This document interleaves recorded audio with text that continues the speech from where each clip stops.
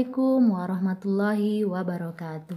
Apa kabar anak-anak Bunda yang ada di rumah? Bunda harap kalian semua dalam keadaan sehat dan baik-baik saja ya dan tetap semangat mengikuti pembelajaran dari rumah. Ya, kita akan melanjutkan pembelajaran kita ya untuk hari Senin 6 April 2020.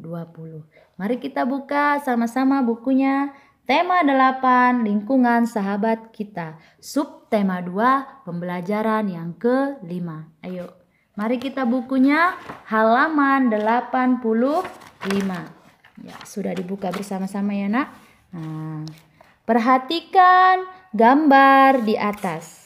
Ya, sudah kalian perhatikan? Setelah kalian perhatikan gambar di pembelajaran kelima halaman 85, kalian jawab soal nomor 1 sampai nomor 3. Setelah itu, ayo membaca. Mari kita baca teks Tari Suling Dewa halaman 85 ya. Dari 85 sampai ke 86.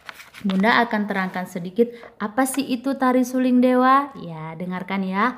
Air merupakan sumber kehidupan. Ketika hujan tidak turun dalam waktu lama, maka akan terjadi kekeringan. Banyak cara dilakukan masyarakat untuk menghadapi bencana kekeringan. Misalnya di Desa Bayan, Lombok Utara, Provinsi Nusa Tenggara Barat, India, seperti pada gambar halaman 86.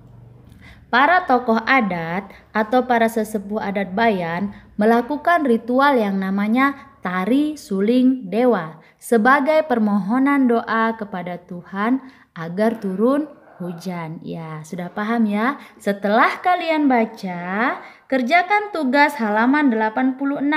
Ayo berdiskusi.